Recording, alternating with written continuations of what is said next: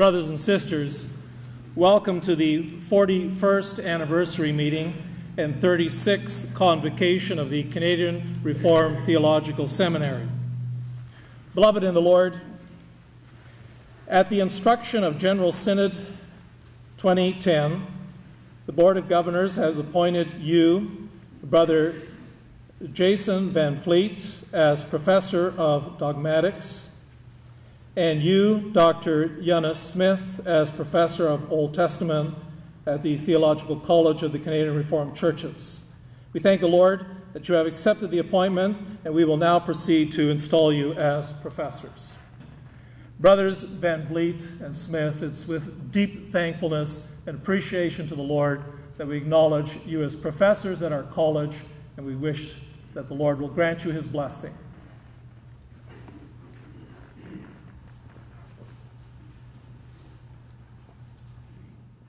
Does it not make obvious sense that the training of ministers is a task of the churches in common? John Calvin certainly thought so, as did the churches of the secession. Even when seminaries go astray, either because of faculty that will not be supervised or because of ecclesiastical assemblies that will not do their supervisory work according to the Word of God, the principle is clear.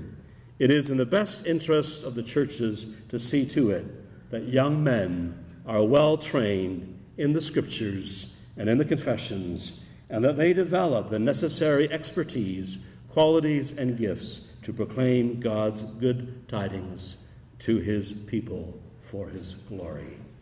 May God continue to bless us as we again set ourselves to this task in the year of our Lord 2010 and 2011. Thank you. So, in short, what is dogmatics?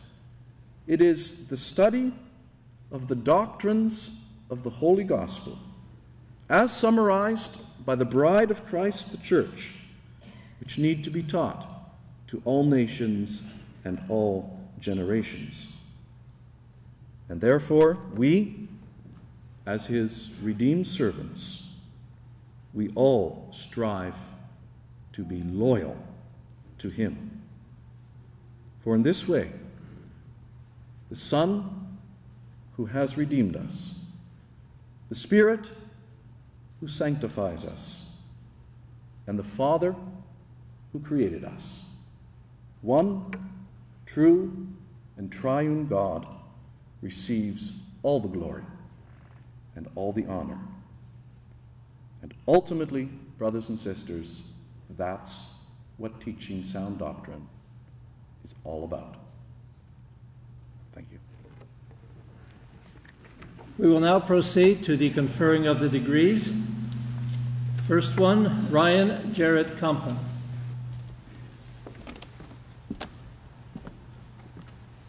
Senate of the Theological College of the Reformed Churches declares you, Ryan Jared Kampen, Master of Divinity. Guard the good deposit that was entrusted to you. Guard it with the help of the Holy Spirit who lives in us.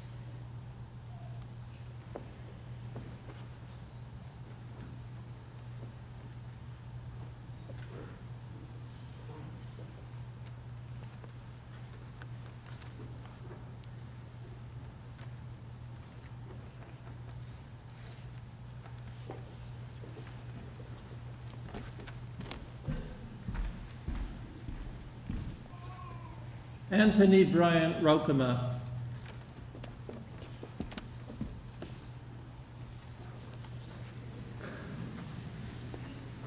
The Senate of the Theological College of the Canadian Reformed Churches declares you, Anthony Brian Roukema, Master of Divinity. Preach the word, be prepared in season and out of season. Correct, rebuke, encourage with great patience and careful instruction.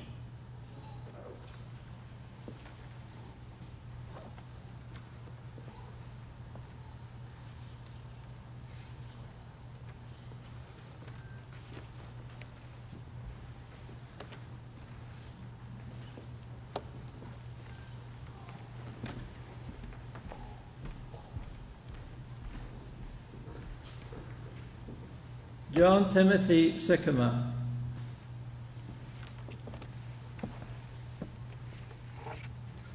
Senate of the Theological College of the Canadian Churches declares you, John Timothy Sikkema, Master of Divinity. Do your best to present yourself to God as one approved, a workman who does not need to be ashamed and who correctly handles the word of truth.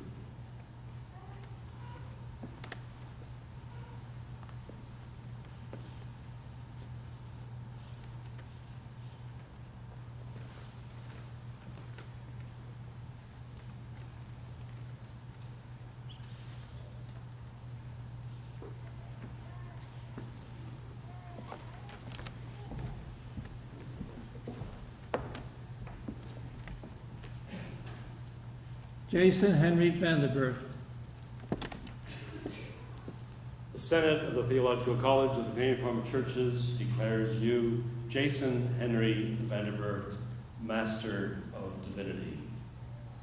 Take up the shield of faith with which you can extinguish the flaming arrows of the evil one. Take the helmet of salvation and the sword of the Spirit, which is the Word of God.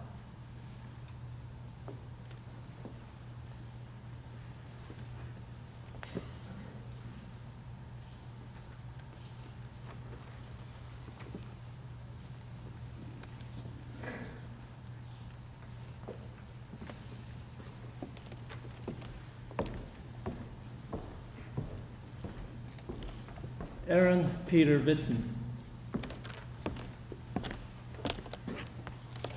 The Senate of the Theological College of the Canadian Reformed Churches declares you, Aaron Peter Whitten, Master of Divinity. Stand firm, then, with the belt of truth buckled around your waist, with the breastplate of righteousness in place, and with your feet fitted with the readiness that comes from the gospel of peace.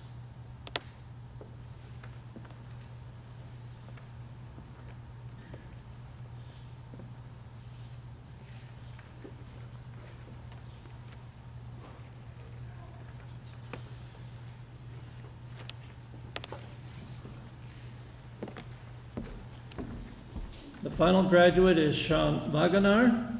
Since Sean is not able to be in our midst this evening, his degree is being awarded in absentia.